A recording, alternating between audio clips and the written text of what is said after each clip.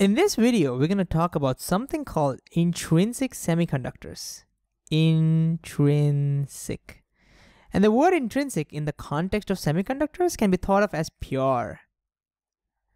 So it means all atoms are identical or all atoms are same. So if you're dealing with an intrinsic silicon semiconductor, all atoms must be silicon.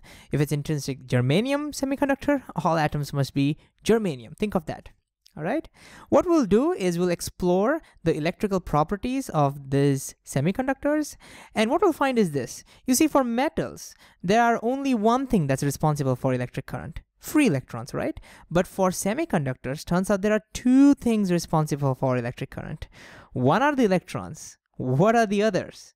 Well, we'll find out in this video. So we'll take a specific example and work with it. So let's say we take silicon. Okay, we'll first look at how a silicon forms a crystal, and then we'll look at its electrical properties. To do that, first let's write down the electronic configuration of silicon. Silicon has 14 electrons. So its electronic configuration would be 1s2, then it'll have 2s and 2p, they will be completely filled. You have 2 and 6. That makes it 10. So will 3s and 3p will also be involved. And 3s will be 2, 3p would be just 2. And you may, you may have already studied in chemistry that atoms love this thing called as octet structure. They would like their final energy shell. They would like their uh, final orbit to be completely, final shell to be completely filled with electrons, 8 electrons, octet. Our silicon only has four electrons in its final shell, right? So it needs four more. How does it get that? Well, if you take a silicon crystal, all where all atoms are silicon, all atoms are in need of these four electrons. So guess what they will do? They will end up sharing their electrons, and this is called as covalent bonds. So silicons end up forming covalent bonds with each other. And so if you could see that, it, it might look somewhat like this. So here it is. I'm going to draw these are the silicon atoms which are covalently bonded with each other. All right. Now don't take this diagram too literally. All these lines are just for representation. But here's the way to think about it. Look at this silicon for atom, for example. It has four outermost electrons. These are the four electrons. We're not showing the innermost electrons. And what the silicon is doing is it's sharing with four of its neighbors. And so as a result, notice each silicon atom has now eight electrons in its, uh, vicinity. So you have one, two, three, four, five, six, seven, eight. So this silicon is happy. And look at this silicon. It's even having, even this one has one, two, three, four, five, six, seven, eight. That one is not shown. So all silicon atoms have eight electrons access to it. And as a result of this sharing, they're all happy. And in fact, this is what keeps the entire crystal together. Okay. So now the big question is, what about its conducting properties? Can this silicon conduct? Well, that really depends upon the temperature, it turns out. So what we'll do is we'll start off with very low temperatures. Let's go absolutely low. Let's go to absolute zero. If you're at the very low temperature, like very close to absolute zero, what do you think will the silicon crystal do? Will it conduct? Well, it has so many electrons, right? But the question is, can they conduct? The answer can only be given by looking at the band diagram of this. In previous videos, we've spent some time talking about this band structure, band theory of solids. And if you need more clarity or you need a refresher, it would be great idea to go back, watch those videos, and then come back over here. But anyways, you would see that for semiconductors, the valence band, the band which has uh, highest occupied electrons, the valence band, is completely filled. And then you have this gap in the energy, which is not allowed for any electrons. We call the forbidden energy gap. And then you have this next energy band, which electrons can occupy. All right. And at, at absolutely zero temp, uh, zero Kelvin, all the electrons have occupied these states. So if you were to look at individual states, we'll just draw that, we'll show that. So if you look at the individual states, uh, recall that uh, a band is actually collection of all these uh, states. I'm now showing some of those. Then each state has two electrons in it. Remember Pauli's exclusion principle? Uh, one will be upspin, one will be downspin. A third electron can't be over here. The next electron will be on the next state and so on.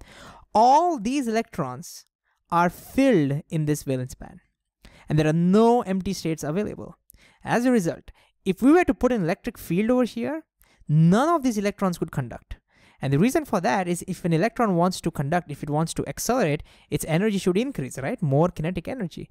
And so none of the electrons will, well, if the energy has to increase, well, there has to be an energy state available for the electron to go to, right? But all the energy states are filled, so the electron's energy cannot increase. And as a result, none of these electrons will conduct. And so this whole solid acts like an insulator. So at zero Kelvin, this whole material acts like an insulator. And the reason it acts like an insulator is because, well, there are no empty uh, energy states available. So what happens if we increase the temperature? Let's say we bring it all the way to room temperature. Well, let's find out. I have it ready down over here. Excellent. So imagine we are now we are now at room temperature. Let's say that's about what? That's about 300 Kelvin.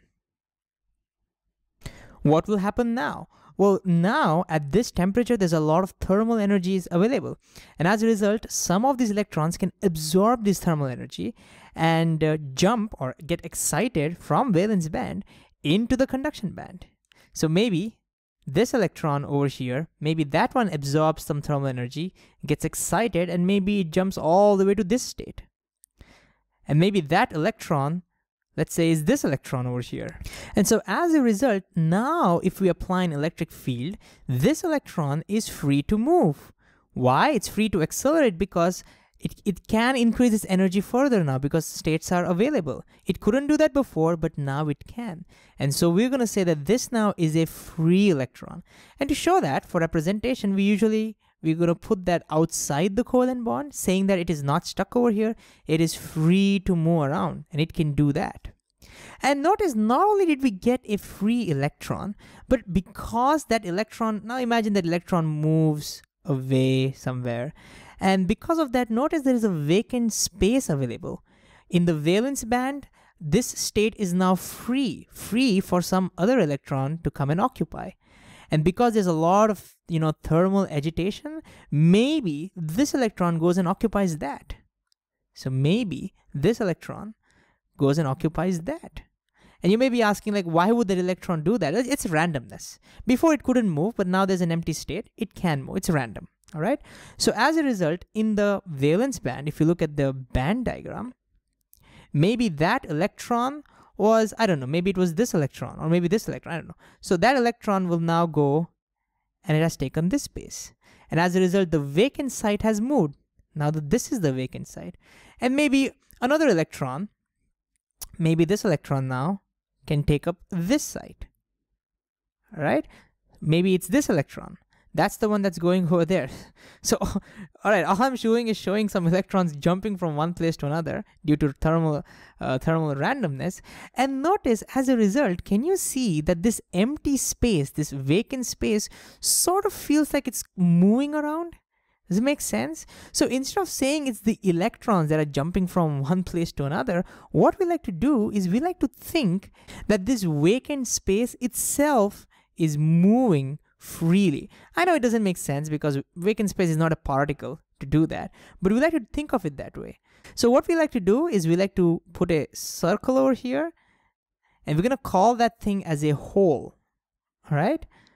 We're gonna call that as a hole. And the whole idea behind this hole is that we think of hole as a particle and we think of it as, as freely movable. So we're going to assume that it can freely move throughout this entire crystal. All right, and that's why we get current due to two particles. One are the electrons and another one are the holes. And guess what? These holes act like positive charge carriers.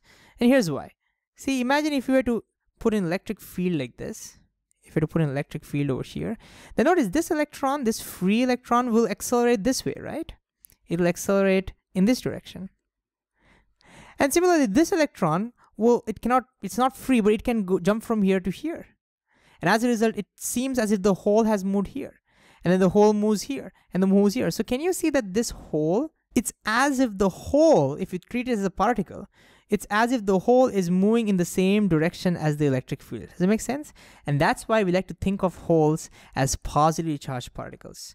And so in semiconductors, there are two things responsible for current. One are the electrons, but the other ones are holes A couple of notes to end the video.